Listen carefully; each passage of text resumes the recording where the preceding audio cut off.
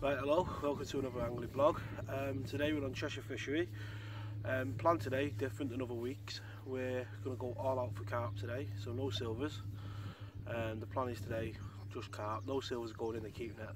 Hopefully, you know, we won't come into too many roach and that. Um, a few changes that I've made.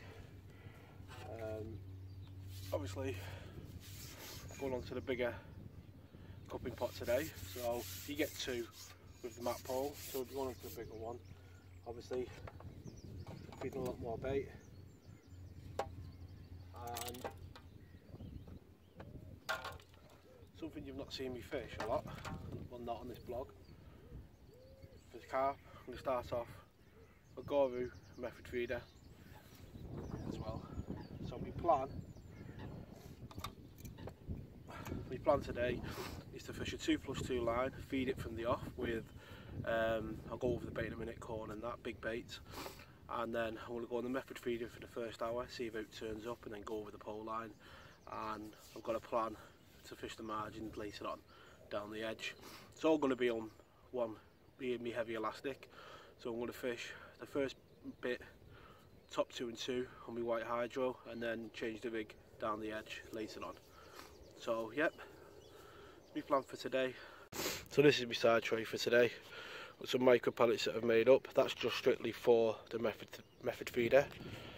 With that, I'm going to fish pop-ups, juice, either a pop-up or a um, normal sinking bait. And then I've got plenty of corn, hemp, dead maggots. And what I'm going to do is do a mixture of them in this pot here not too much I'm going to feed straight off and then I'm going to go down the edge and I've got about two kilo of ground bait there for later on. All mixed up. Obviously it'll take on the water during the day and we'll refine it later on. So yeah that's my plan and that's the swim.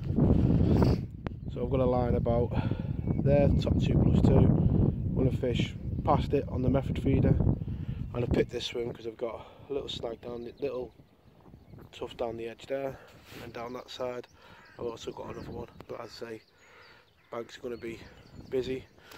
So yeah let's get to it. So that's the mix of the pole ready to go. It's a mixture of hemp um, corn and dead maggots. Now the thinking is I want there's a lot of silvers in here as we know. So my thinking is is that um, anything that moves attracts a small fish. If it doesn't move it seems to sit there for the bigger fish. So all out for bigger fish and I'm going to feed about half a pot of that and leave it for the first hour, first hour while I fish the method feeder. So let's get to it. There we are, into the first fish of the day on the method feeder. Don't know what it is yet, I feel like a car, it might be.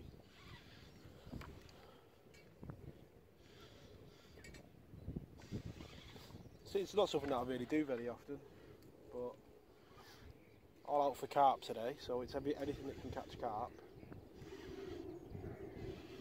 We'll be uh, doing. I think this is a, actually a bream. It feels like I don't know. You'll see. And the pop-up juice and um, stinky stuff. Company that I've worked with before sent me out their new their new um, product to try. And I've been spraying that all the time. it's the first carp of the day.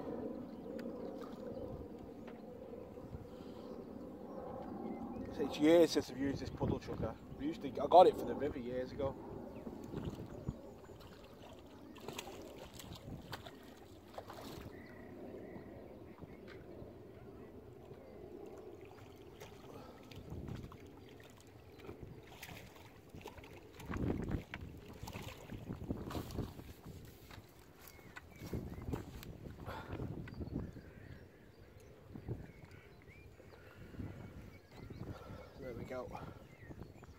First carp of the morning, a juice dumbbell these chops. That's the first carp of the morning in the net. Great start. It's another one. And this one's a carp actually, but you feel like a carp anyway.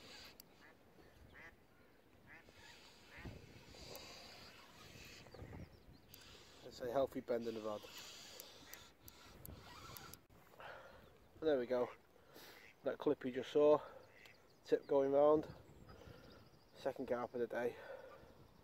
Get the guy in the net.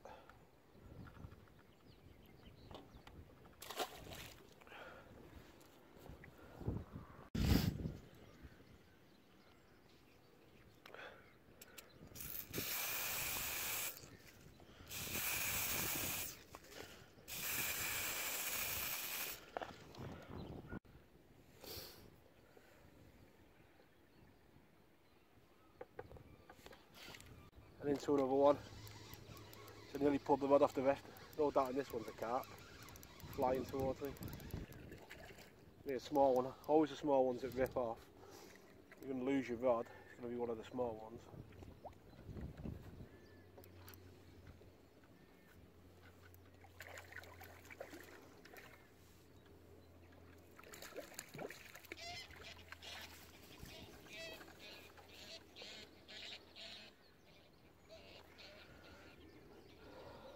We go, third carp of the day.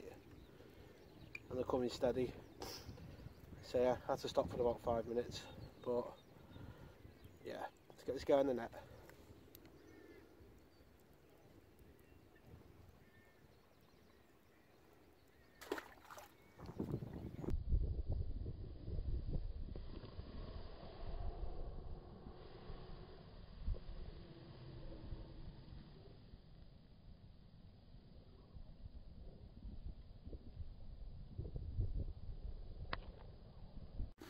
Fish of all sizes. Another carp, and again, nearly tore the mud off the vest. But yeah, coming steady, getting the accuracy now on the right spot, clipped up. Yeah, going well. Right, been on the method feeder for about 45 minutes. Um, you know, half an hour, 45 minutes, and getting little indications all the time. Line bites between me and the, the feeder so it tells me there's a lot of fish in the area. But yeah it's been enjoyable. As I say just does this to pass the time while that line on the pole settles and it is a windy day. So the longer I can stay on this probably the better. But yeah so far it's working. No all carp so far. Right just gone to the pole line. And even with all that hemp and corn going in get a vulture chalk so it doesn't seem like that's going to work.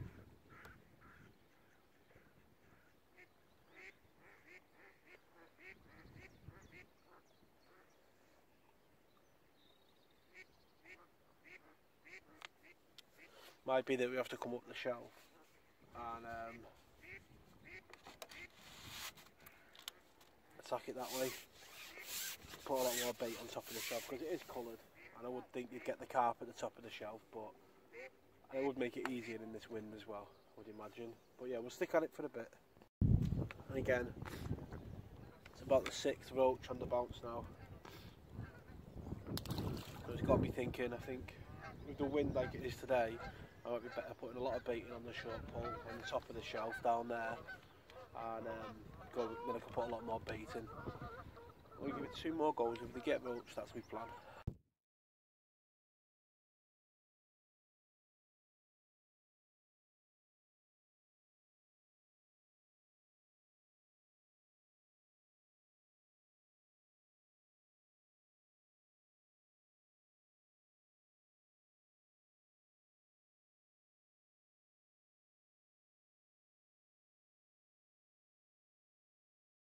Right, so just going to the top of the shelf and within two minutes hit a carp.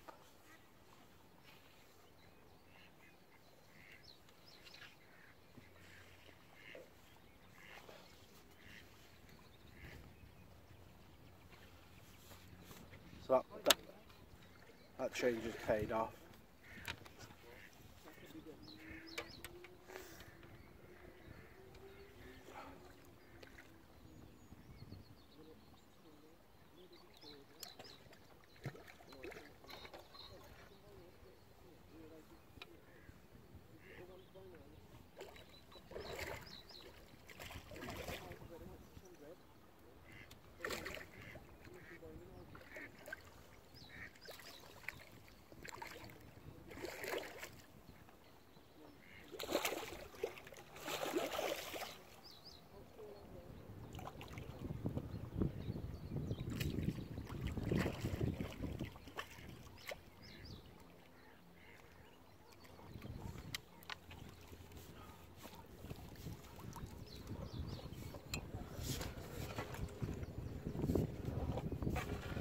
Wherever.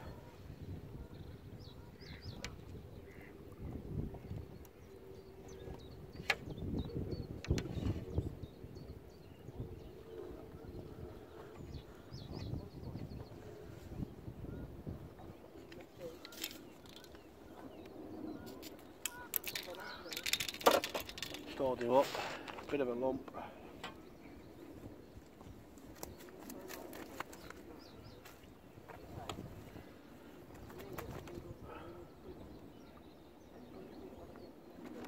There go.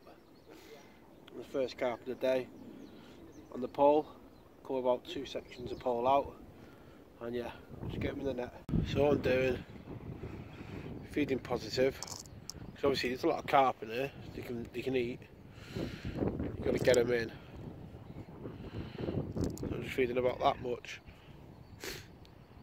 After that, that first carp, see what that does. The idea is to draw the carp in through greed basically. And they'll push the roach out. And it's shallow enough. There's only you know you've got five foot of water ten foot of water there's a lot more water for it to drop. There's only about three foot there. So it's going to be straight on the deck for me.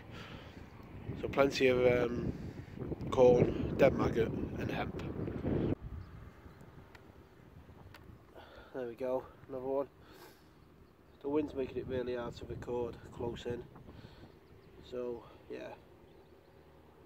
Very choppy but that's uh, the third one. Coming close in on the short pole.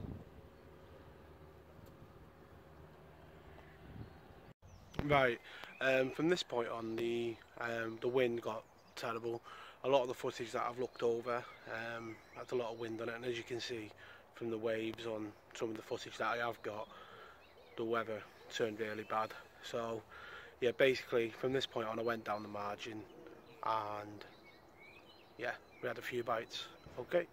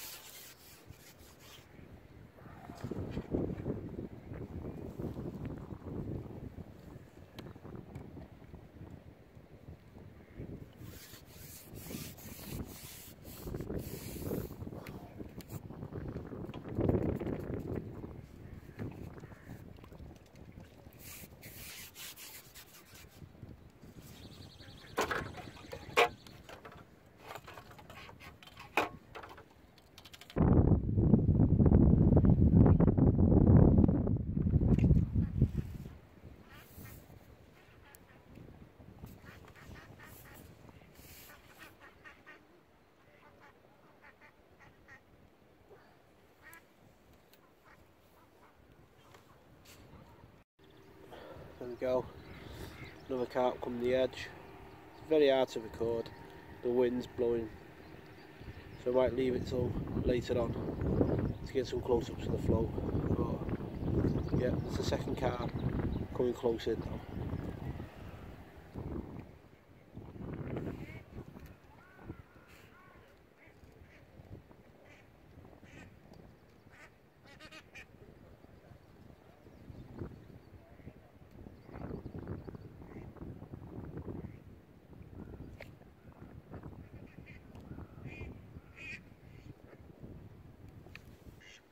There's another one.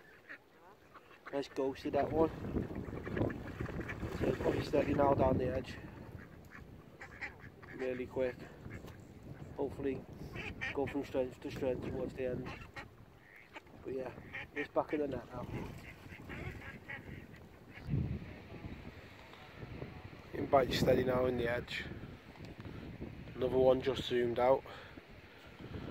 So conditions today are horrendous for recording wind in me mush constantly but the carp are coming in now as I say. In a, hard day's fishing but good. Right, let's get this guy in the net. There we go. Another one down the edge. The swim slowly starting to build now. It's taken a while for him to come but yeah Another one. He's getting back.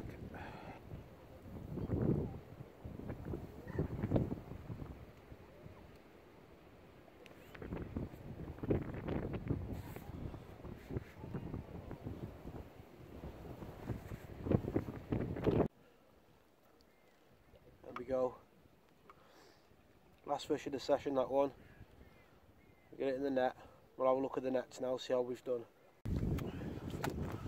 There we go, final net. Over 80 pound the carp in total, mostly on the pole. Um, early on on the method feeder. But yeah, great day sport at Cheshire Fishery. I'm going to get these guys back now.